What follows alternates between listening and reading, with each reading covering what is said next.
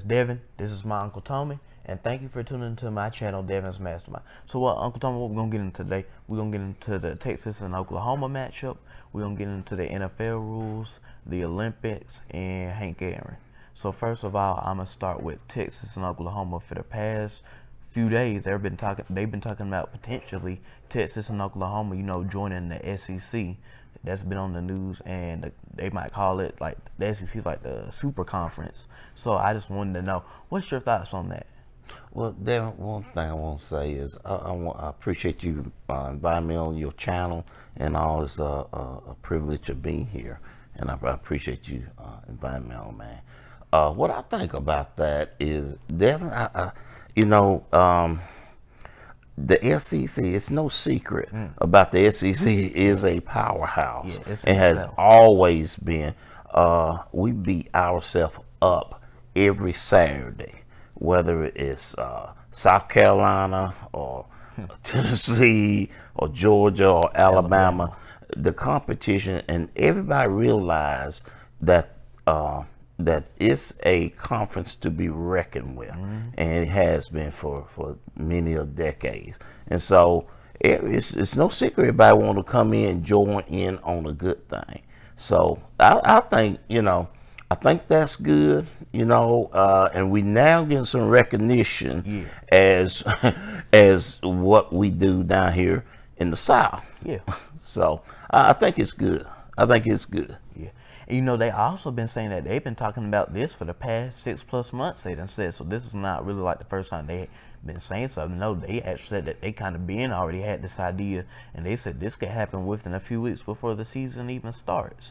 And then you know, like when you look at Texas and Oklahoma in the Big 12, because you know the Big 12 is a conference where nobody can't play defense. It's such a high scoring affair. There's such a shootout, like 51-48 or 79-77 kind of type kind of tight conference. But yeah, I mean Texas and Oklahoma, I think uh, it's kind of a little iffy, iffy. But then I think okay, well, Georgia probably would be a little bit better than what they are because Georgia can't even be the elite, can't beat the elite like Alabama or Clemson or Ohio State. And then you know Georgia, Oklahoma played in the Rose Bowl a few years ago. And of course, we had beat Oklahoma, but Oklahoma still gave us a run for their money. So I think Georgia and Oklahoma kind of playing each other, I think that would kind of be pretty good. And then Georgia and Texas playing because you know Texas had won a few years ago in the Sugar Bowl when they had they had beat them 28 to 21, and I we were so shocked because I was like, y'all let Texas beat a Georgia team.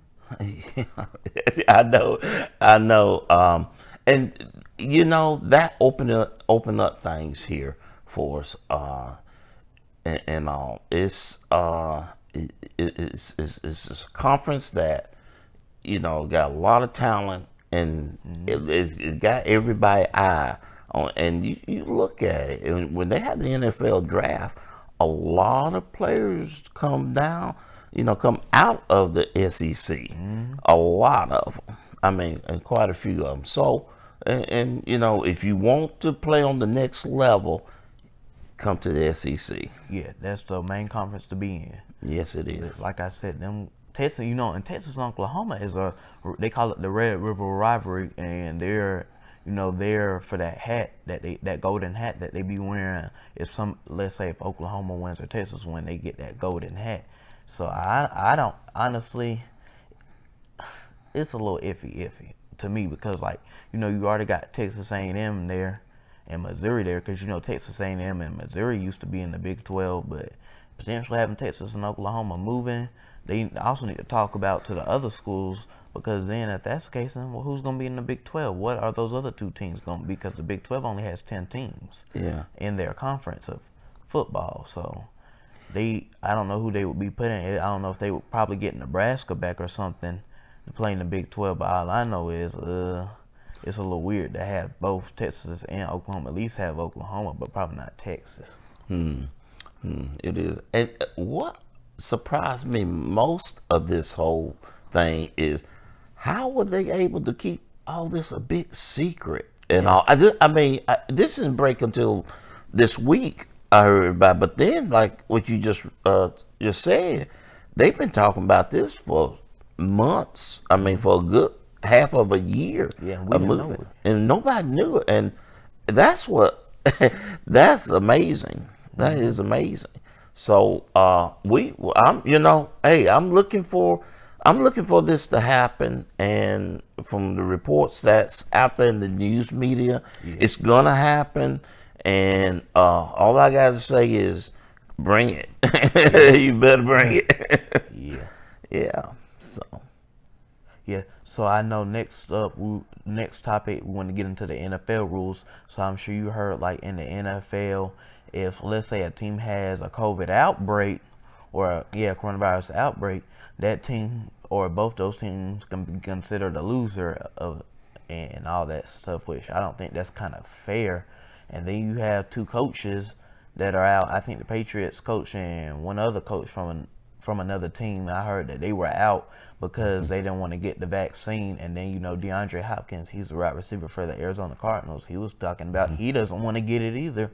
And I'm like, well, what if it does? What if Corona still comes and gets you? Then what you gonna do? And then that's kind of hurting your team and all that mm-hmm. stuff because you're the best. He he's one of the best wide receivers in the league, and him not getting it. I mean, that'd be on him. That'd be his fault. It wouldn't be the NFL's fault. It'd be his fault. Right. That's as a uh, player.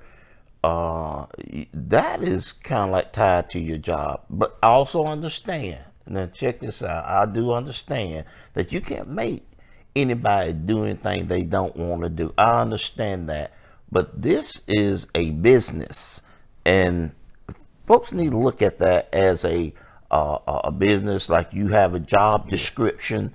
You know, you have to do this, this, and this.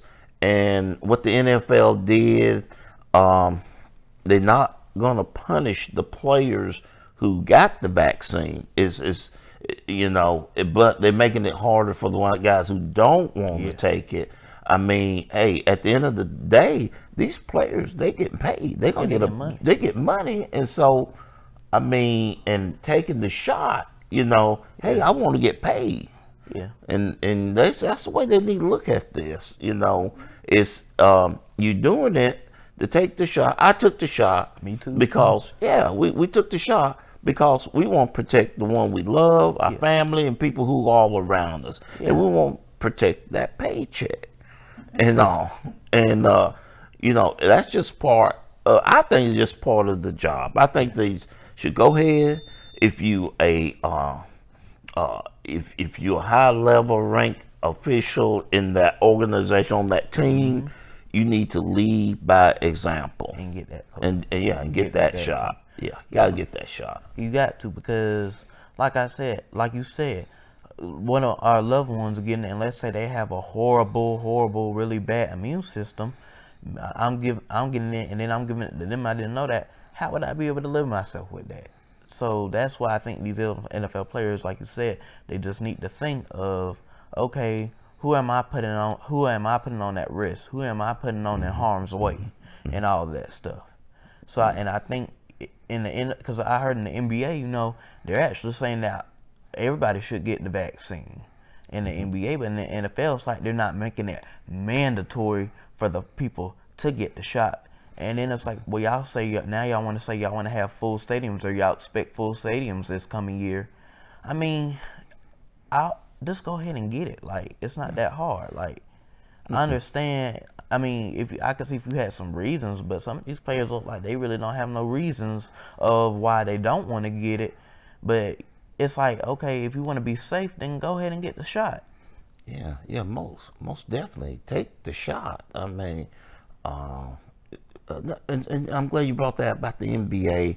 Uh, I, I was at home uh, looking at the Atlanta Hawks, and when this came down about the COVID nineteen, and um, hey, the, the NBA they shut it down right there on the spot, and they and they figured out a way of trying to have the games in the bubble. Yeah. They went down to Orlando and uh, got in that sports complex. They put everybody in the bubble and figure out a way to, to, to have this game, uh, uh, have the games uh, played.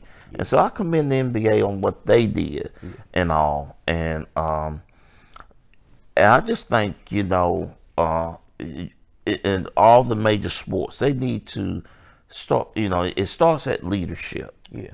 And uh, they they they have to start at the top and trickle down to the bottom. So I I, I like the way the NBA did that. Uh, they they was head above heel above the rest of them on doing that. So I have to commend them, give them their their props on that. Yeah. Yeah, I agree 100% with you. Yeah, yeah, yeah. So. Yeah, and I know next. So the next topic we want to get into uh, the Olympics, the Tokyo Olympics. You know, the Olympics, or I think I already started today, and it's gonna be from July today to August 7th. So, I, what's your thoughts on that of having the Olympics and what's well, been going on? That Olympics, to be Devin, is like having coffee without cream. it's a, or having uh, a car without gas. Yeah. I mean, it's it's, it's, common sense. Yeah, what you're trying to put it. In. Yeah, yeah. I mean, uh, you, sports in general is a spectator event. Yeah, you gotta have the fans. I, I think you, uh, uh some point you gotta have the fans. You there. gotta have yeah. You gotta have people support. Support, yeah. And as I looked at that opening ceremony, all there was a, just a bunch of empty seats and all. Um, and there was some, of course, some protests going on outside mm. of the stadium, and uh, they had already sent home some athletes because they tested positive on this thing, because it's still spreading the COVID 19 mm-hmm. and all. Um, so I just feel like again, I just feel like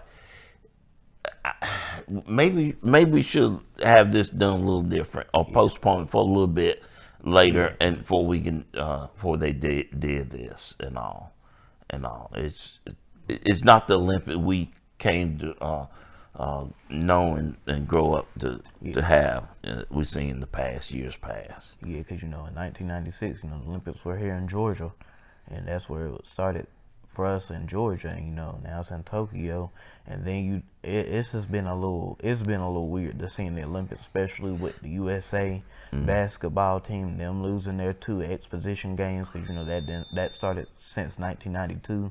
They were mm-hmm. like 54 and two all time, and now they're 54 and four, yeah. and those are exposition games since 1992. So it was a little.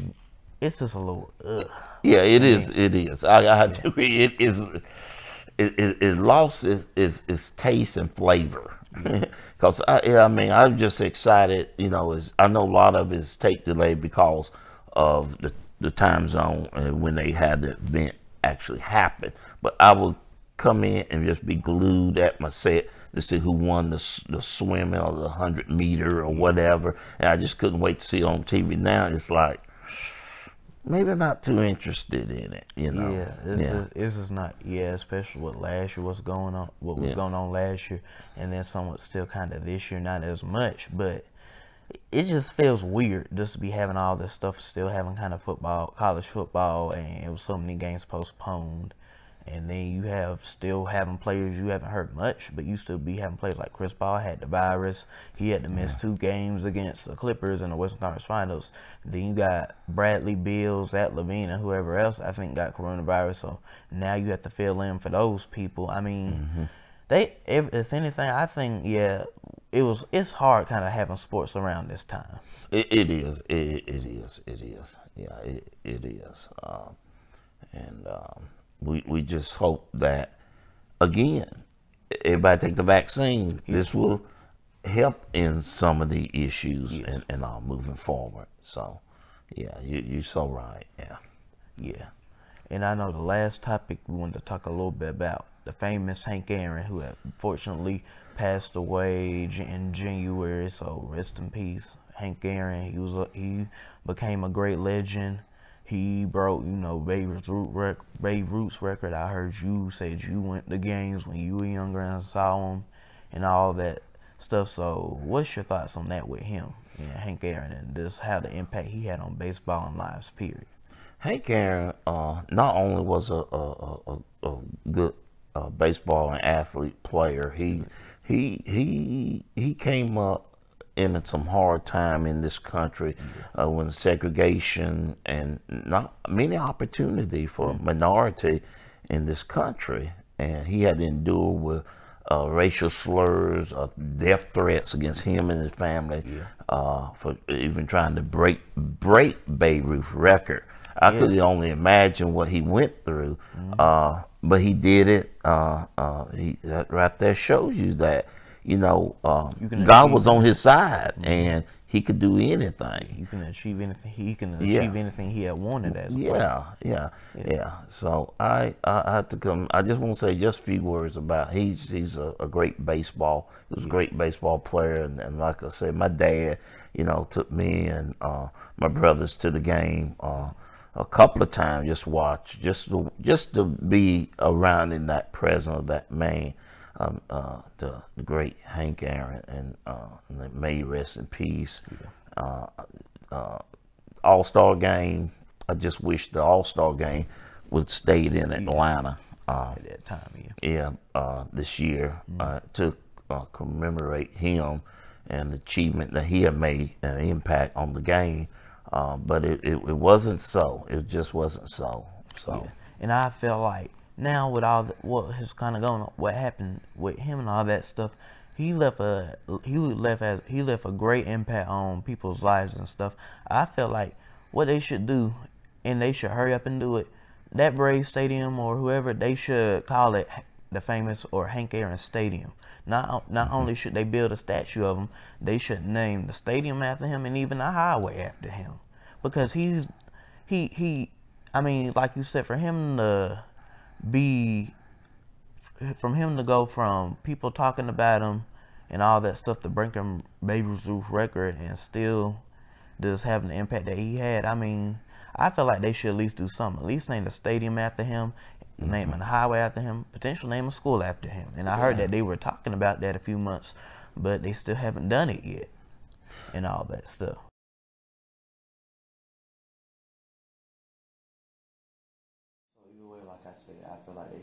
Stadium after Hank Aaron, name a highway over Hank, name a highway about Hank Aaron and all that stuff. And I feel like, 'cause you know, in Texas, I heard the Texas foot, Texas Stadium and football. I heard that Ricky Williams and Earl Campbell, those are the two famous running backs at Texas. I heard that eventually that they were gonna name the stadium after them instead of whatever the other guy's name was, coach that had was named after the Texas Stadium. So like like to say, I feel like they should name a sta- stadium anything after Hank Aaron.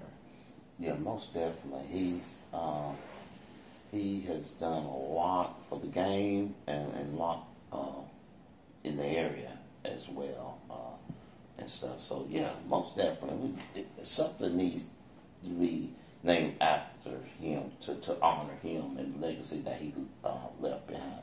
So yes, yes. So that that definitely to happen. Yeah.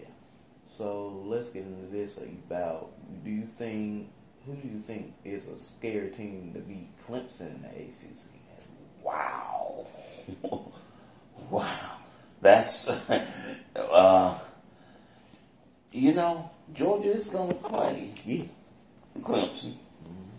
Um, now, you know, um, we, we, I think we could sneak up and beat them. I mm. think. I don't see You don't see that? Because especially, you know, that DJ Uiagalelei dude that was the quarterback for those two games, you know, he had two really great games again when he was playing for Clemson. I think he's a potential Heisman Trophy candidate or finalist for that award and potentially taking Clemson back to a national championship.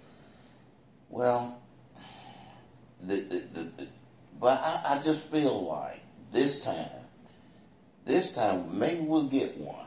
You know, maybe maybe things was changed for, for Georgia this time uh, because you know we we got to get over the hump. We we got to beat the teams like Florida, Alabama, uh, the big teams. We got to beat them to get over the hump because if we don't, it's it's could be kind of bad. Another bad year for the Georgia fans. Yeah, Kirby Smart would lose his job. That's why. And then yeah. we would be known as a team that we just can't beat the elite. We're close to it, but we just can't never get the job done like Notre Right. Dame. Because you know Notre Dame for the past few years, they've been sucking. They really haven't been able to beat Clemson, even though they were way better than Clemson before. But they haven't been able to beat Clemson, Alabama, Ohio State, and all these other teams that are really, really good in football. So I think somewhat Georgia, they have a chance, but if they just keep on losing these big games, we'll always be known as a team. We can win against anybody in the SEC, like a Kentucky or a Missouri or all those teams, but we can't never beat an elite team like a Alabama, LSU, somewhat Texas A&M, and all those kind of teams. I, I, and I agree on it, but I, I just feel this might be the year that we do it. Um, because, for one thing, I, the reason why I say that, because nobody picking us to do that's that's one that's one of the things. Nobody picking us to do it. So uh, I just feel like it things might change this year for us. And and Kirby and his staff, he knows that. Um, you know, he got to produce down there at Georgia. If he wants to uh, stay there, he got to produce. Because the Georgia fan not going to accept anything less than uh, uh, a, a title, the championship title, and that's the go- that's the ultimate goal. That's why we brought him over here. Yeah. Yeah. So And I know about, you know, Clemson in the ACC, they're technically like the team because, you know, the ACC is not really good in their football No. as you expect them to be, but I got somebody who could potentially beat them Clemson, and not Georgia, but North Carolina. Y- uh, Yes, I will have to agree with you on that. You're right. Uh, and they were peaking a little bit last year. Um, they they got a good, solid running game. Uh, the quarterback was pretty good, decent. You know, His name is Sam, yeah, Sam Howell. Yeah. He, yeah, I heard that he had 68 passing touchdowns in his two seasons. That's more than Trevor Lawrence and the famous Jameis Winston, who plays for the New Orleans Saints now. I mean, I think North he's supposed to be a Heisman Trophy finalist. I think North Carolina can make some noise, potentially maybe even go to the CFP if they have a chance to. Now, I don't think they'll probably have that chance, but I could see North Carolina being like a Rose Bowl victory kind of team Mm, and all that. yeah, yeah. And again, you know, and uh, Tech, Georgia Tech, they still in a rebuilding stage, and, and you know, but they they they switching more to a pro type offense down there. So we'll, we'll just have to wait and see what Yeah. they do. You know, Yeah, 'cause- we we're not looking for them to do much down, but at least they they they hit in the right direction. Yeah, because some folks are saying that Georgia Tech could potentially not this year or next year, but potentially I don't really see it because if Georgia Tech was, they would uh they would uh for one they would not lost to Clemson by sixty six points. They lost to Clemson seventy three to seven. I mean, if you can't beat Clemson, what makes you think, or you can't make some noise against Clemson? How are you gonna make some noise against your rival Georgia somewhere? I know, and and we didn't. Uh, Georgia didn't play uh, Tech this year, and they didn't play for the what we call the Governor Cup, and so uh, and so we we just hopeful that you know Tech get on board, and we'll just watch see how that program goes. Because they consider Georgia and Georgia Tech a rivalry. But when I felt like if you consider some of these teams a rivalry, I think you against rivalry because you know like Clemson, South Carolina. South Carolina had it where they beat Clemson five straight times, and then now Clemson's beating them six, seven straight times. But if you want to call those teams or just Georgia and Georgia Tech a rivalry, one I think the game needs to be a close game and a game that comes down to the wire. That's like a rivalry game, like how Auburn and Alabama played in 2013, and that was kind of a crazy game because that was a kick six. I mean, if if it, if Georgia Tech and Georgia Tech want to be considered the greatest rivalry, Georgia Tech needs to make some noise and do something. Yeah, I, I, I agree. Um, but I think them games like that is more of a family and friend game. Yeah, it's house divided. Yeah, yeah, pretty much. Uh, and so, you know, um, but I seen in uh, a few years ago where Tech pulled out one over Georgia, and that's in I, I think Mark Richt was Yeah, coaching. that was Yeah, in yeah. 2016. Yeah. Because that was when Georgia was good, but they weren't good until that next year. Right. And then that's when, of course, we went to the national championship Mhm. and played Alabama. And ever since then, we've been good. Now, I don't want to consider us being great, but we've been like in the top, kind of four, top five kind of not maybe like Alabama, Clemson, Ohio State. Those are my top three teams. Then put Georgia or at number four at number five. Right, right, right, right. Until until we can beat the elite, we we can't consider ourselves being that high up on the scale. Uh, and I agree, you absolutely right. Until we beat uh, Alabama and, and beat them convincingly and beat them good, uh, you know, I, you know, we can't be in that topic. You're right. And if we beat Clemson, I might change my mind a little bit about Georgia and put Clemson on the top. Well, from what I see, I don't see nothing. I just see Mhm. Clemson beating Georgia 24 to 10. 2014. Yeah. Okay. All right. Well, you heard that. 2014. I say uh, Georgia could beat Clemson this year. I would say 30 to 21. Who, Georgia? Mm-hmm. Yeah, I don't think that's going to happen. Okay, so, Honestly. okay. Yeah, so. We'll see. So next up, let's talk about the Falcons. You know, the Falcons. They're just one of the suckiest teams in the league. They're not the they're not the suckiest, probably like the Jets or the Jaguars, but they're up there close to it, and all that stuff. And then they traded Julio to the Titans, and all that. Well, the Falcon coming in, they had a cap problem. They had to get below the cap. Uh, and, and I didn't want to see Julio go either, uh, but he was a casualty of the cap. He, they had to free up some money and uh, to sign the new players that they got now. Um, so that was uh, one of the things that uh, happened there. Um, we we never had a team. When I started looking at them back in the '60s, we never had a, a anything a, a decent team. I know we had the Grits Blitz, and then we had Deion Sanders. We had a few players come through there, but one player is not going to beat you. It take a team, uh, and so we we, we we just hadn't had a, a good overall team. We we had just one good player, Andrew uh, William Andrews. Uh, we had Steve Bartkowski. Michael we Vick. Michael Vick, uh, Billy White Shoe Johnson at the end of his career. We had him, Yeah. you know, but we yeah, we, we never had a core of, uh, of players that come through all together. Uh, we had Joel Williams, uh, remember him? We never had a, a, a whole solid team of just one bunch of good solid players. We never had that. But I, I, we got a, a, a, a GM now who making some hard. He had to make some hard decisions, uh, and we just have, you know, on paper, you could say, well, yeah, but it got to transform on the field. Yeah, definitely. Yeah, it's got to transform on the field than what's just on paper.